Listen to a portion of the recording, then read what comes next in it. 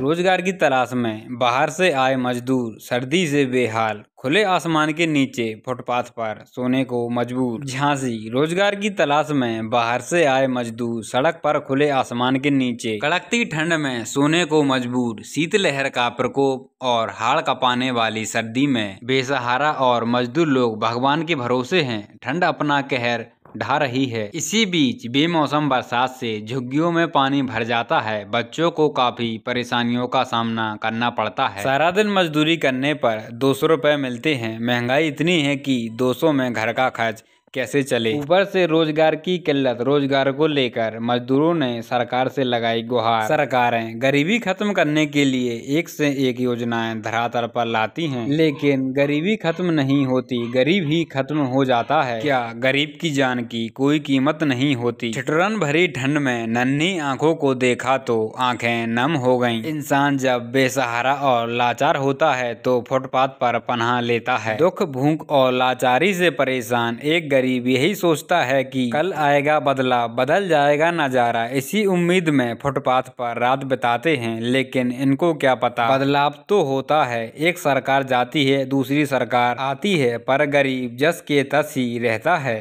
तो भैया आप कहाँ क्या नाम है आपका? जी राजकुमार। कहाँ रहते हैं आप? नहीं जैसे हाँ कहाँ के रहने वाले हैं आप? अच्छा तो यहाँ किस लिए रहते हैं आप?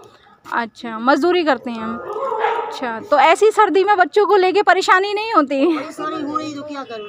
अच्छा तो जो रैन बसेरा प्रशासन ने दिया है तो उसमें आप क्यों नहीं जाते है है, है अच्छा अच्छा दो सौ रुपया मिलते हैं मजदूरी के बीस तीस रुपया लग जाएँगे उसमें किराया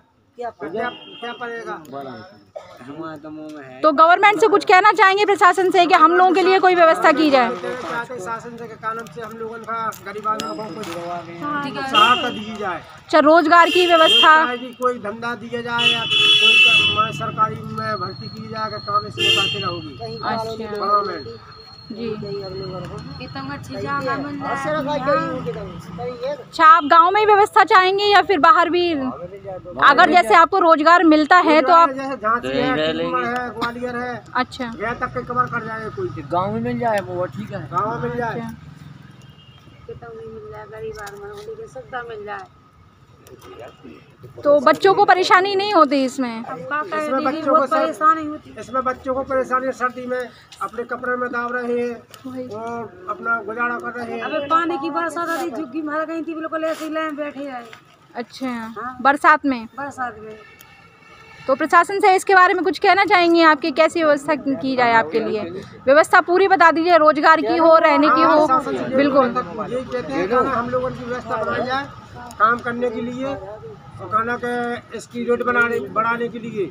अब दो सौ रुपया में होता क्या है? पच्चीस रुपया किलो आटा आ रहा है। इसमें क्या होता है? दो सौ रुपया किलो का तेल आ रहा। कितनी महँगाई हो गई है? हमको मजदूर को मिलती है दो सौ रुपया। तो बच्चे आपके नीचे ही सोते होंगे फर्श पर। सब खटिया कहाँ है यहाँ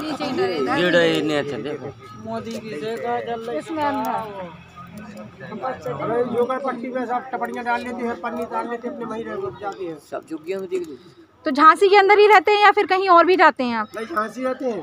अच्छा रोज का कितना इनकम